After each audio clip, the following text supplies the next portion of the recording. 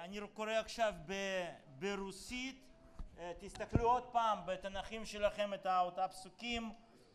Вот рассказ про Ноя. Ной среди людей того времени один только был праведен и непорочен. Его жизнь пла- шла с Богом. У Ноя было три сына. Шем, Хам и Яфет. Омерзительно стала земля для Бога. Зло ее переполнило.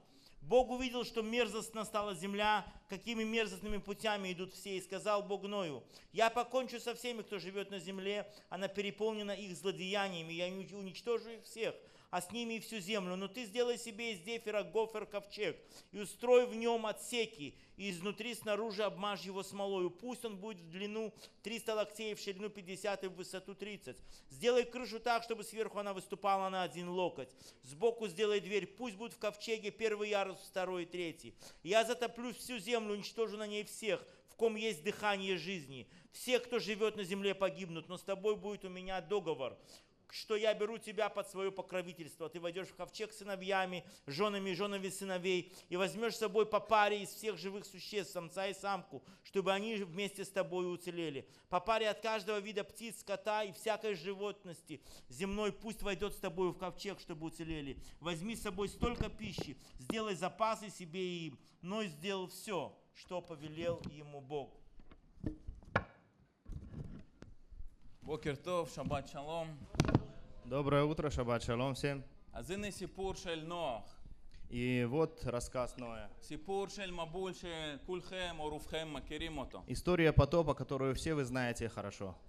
כי זה משהו מיוחד, כי זה שינה את ההיסטוריה. Потому что это что-то необычное, то, что повлияло на течение אבל истории. המילים שפרשה מתחילה בהם, היא מספרת על תולדות של נוח. Но слова, ко- с которых начинается Парашат Шаву, они говорят о родословной Ноя. אבל אנחנו לא רואים במילים הראשונות באמת את התולדות שלו. А С этих слов это начинается, но мы действительно не видим этой родословной. אבל מה שכתוב פה, כתוב שנוח איש צדיק היה תמים בדורותיו. Но что написано, написано, что Ной был праведен и и непорочен в своем роде. מה זה אומר צדיק בדורותיו? Что это значит праведен в своем ועל роде? השאלה הזאת אנחנו ננסה לענות היום. На этот вопрос мы постараемся сегодня אבל ответить. גם בנוסף נענה על השאלה למה לנוח לקח כל כך הרבה זמן, אומרים 120 שנה לבנות את התיבה. А также, помимо этого, мы постараемся ответить на вопрос, почему Ною с- взяло столько много времени, 120 лет построить ковчег. ובנוסף, למה כל כך הרבה זמן, קרוב לשנה, הוא היה נמצא בתוך התיבה. И почему столько много времени, почти год он находился в этом כי ковчеге. כל הדברים האלה הם מאוד קשורים. Все эти вещи э, очень связаны друг с другом. אז כל מה שאני אגיד היום זה השערות. זה לא משהו שחד ודאי. Все, что я буду сегодня говорить, это предположение, это не то, что однозначно, не аксиома. אז אתם יכולים לקבל את זה, יכולים לדחות את זה, אבל תמיד יהיה פה משהו על מה אפשר לחשוב. Вы можете принимать это, вы можете отвергать это, но всегда это есть э, база для о чем думать. אז מצד אחד על הפסוקים איש צדיק בדורותיו אפשר להסתכל בשני כיוונים. С одной стороны, можно Э, предложение, предложение праведник в своем роде посмотреть и объяснить с двух позиций. А захочу бы мы тая цадик. С одной, это то, что он действительно был праведник. Он действительно делал все максимально совершенно, как он мог сделать. היו לו קשרים טובים עם אלוהים. У него была очень хорошая связь с Богом. ואז אלוהים באמת אומר לו, אתה צדיק בדור הזה. И вот Бог говорит ему, ты действительно праведник в этом роде. אתה צדיק בכל הדורות. Ты праведник во всех родах. אתה באמת בן אדם טוב. Ты действительно классный человек. Но часто толкователи не особо принимают такую, а, такую точку зрения. Они говорят что-то другое. Они говорят, что из-за того, что род Ноя был очень сильно развращен, Ной выделялся на их фоне немножко лучше. Именно поэтому Бог говорит, что он праведник в, в своем роде. Но, предположим, если бы он был э, в роду Авраама, э, возможно, он бы считался один из грешников.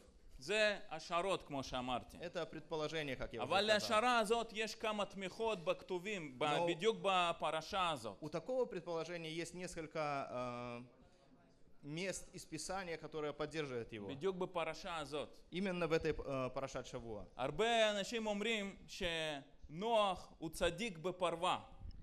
Э, Много людей говорят, что Ноах, он был праведник в шубе. Цадик бы парва, ешь битуй каза. Праведник в шубе есть такое э, выражение. Что это значит? Я постараюсь объяснить. Предположим, вы сидите дома, зима и очень холодно.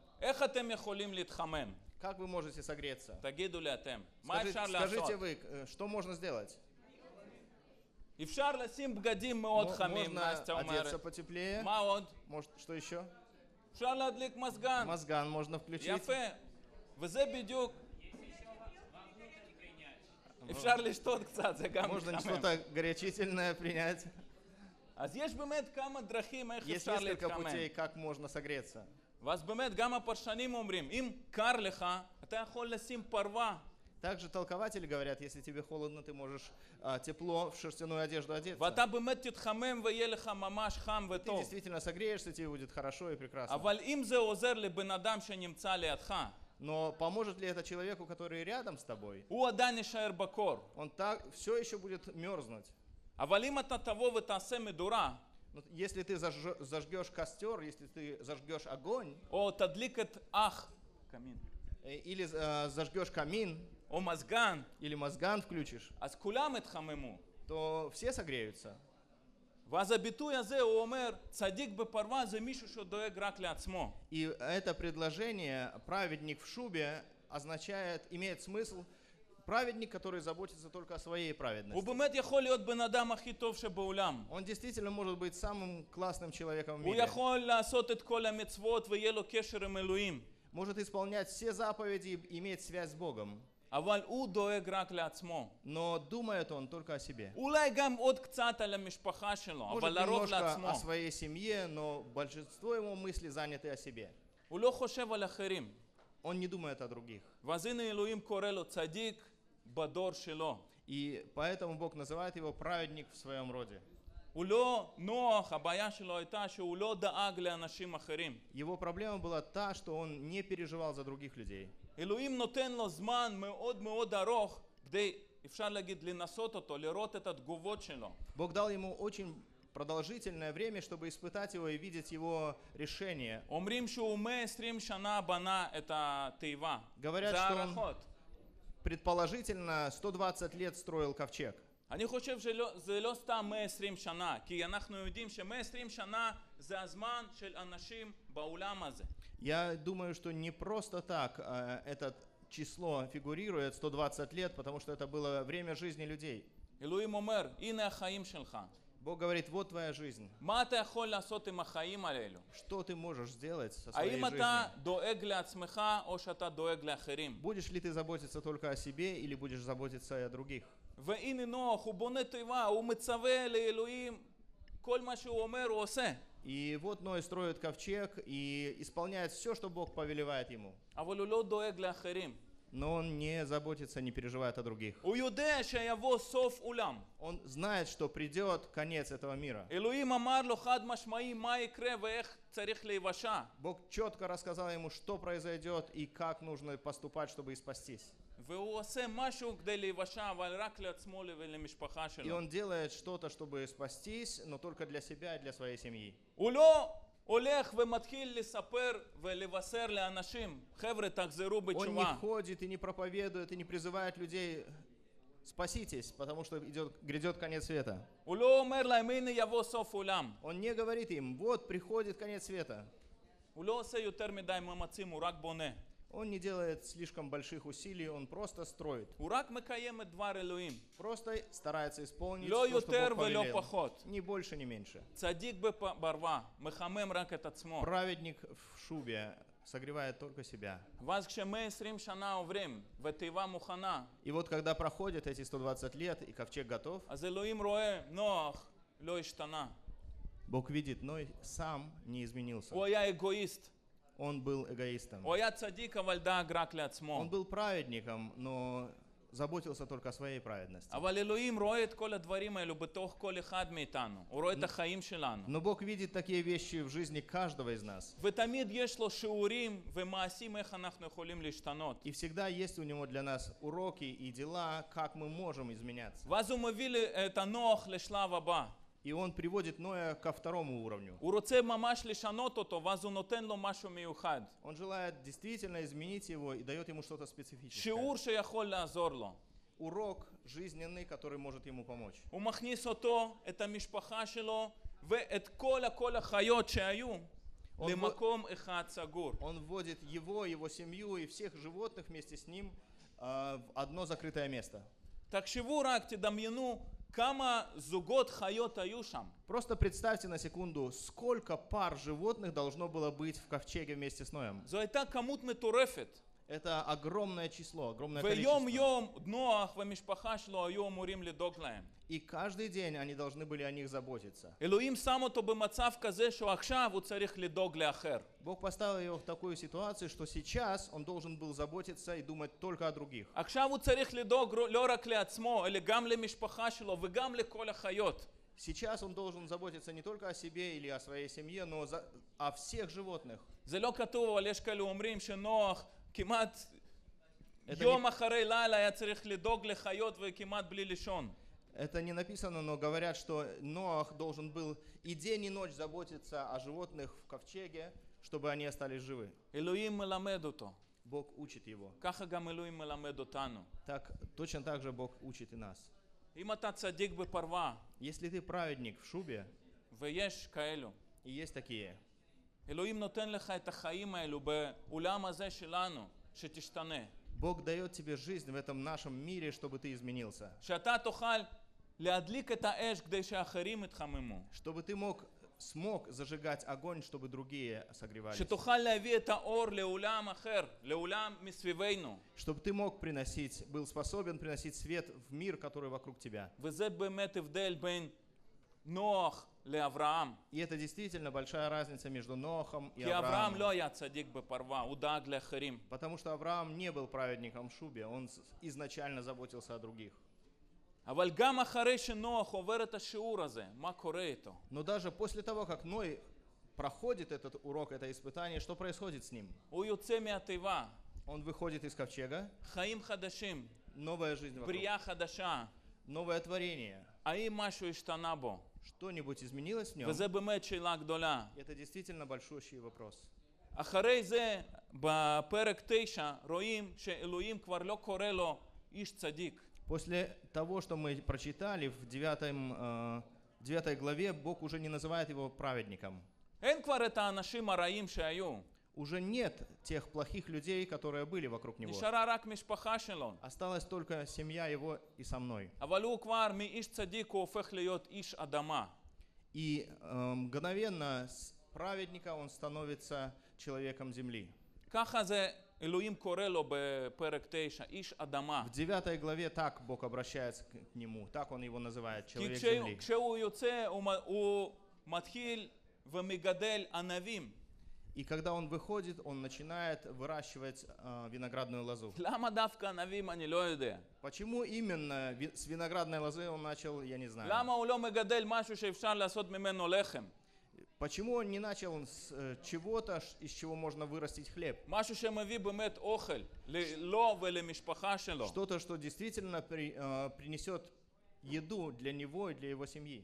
הוא מגדל ענבים והוא גם שותה יין והוא שותה אותם לבד. Он взращивает виноградную лозу, также делает вино и пьет его один.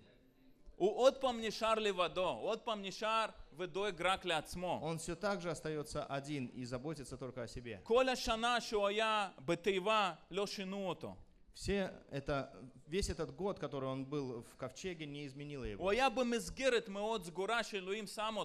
Он был в очень закрытых рамках, в которых Бог поместил его специально, чтобы он изменился. Чтобы он научился заботиться о других, но ничего не случилось. Возможно, что он выходит и был внутренне уставший от всех этих лет. И хочет просто успокоиться, отключиться, и вот он пьет вино. אבל מה, המשפחה שלו לא עייפים? הם לא עבדו כל כך קשה כמוהו? Но что с семьей его? Они разве не были уставшие, не, не были вместе с ним? הוא עוד פעם לבד, עוד פעם אגואיסט. Он снова один и снова эгоист. ובגלל זה אנחנו לא קוראים עליו הרבה דברים בהמשך. И именно поэтому мы не читаем много о нем в дальнейшем. הוא נשאר להיות כמו שהוא היה ולא השתנה. Он остался таким же, как был, и не изменился. הייתה לו שנה שלמה, У него был целый год, טווח מאוד ארוך שאלוהים נתן לו להשתנות. довольно продолжительное время, которое Бог дал ему, чтобы измениться. כי תחשבו, מה, אלוהים לא היה יכול לעשות מבול ביום אחד? Потому что задумайтесь, разве что Бог не мог сделать потоп в один день, ביום או יומיים? חופשי. день, два дня, свободно. אבל הוא משום מה נותן שנה שלמה. Но почему-то Бог дает целый год. לכל אחד מאיתנו אלוהים נותן זמן גם להראות את עצמנו וגם להשתנות. Каждому из нас Бог дает время также показать себя и также כי измениться. חשוב לא לדאוג רק לעצמך, אלא להביא אור לעולם הזה. Потому что важно не заботиться только о себе, но и приносить свет в ולכל этот אחד мир. מאיתנו אלוהים גילה מה ההתחלה ומה הסוף שלנו. И каждому из нас, из нас Бог открывает, что значит начало и что значит конец.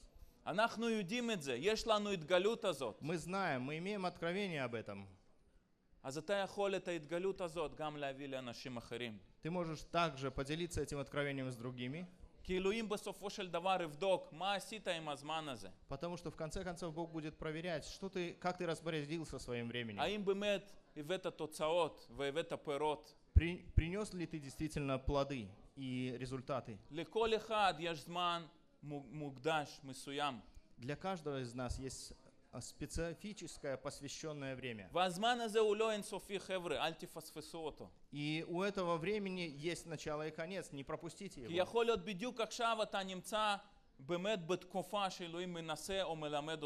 Возможно, именно сейчас ты находишься в периоде, когда Бог испытывает и учит тебя. Не пропусти это. Изменись. И не будь праведником в шубе. Но приноси свет миру. Во имя Ишуа. Аминь.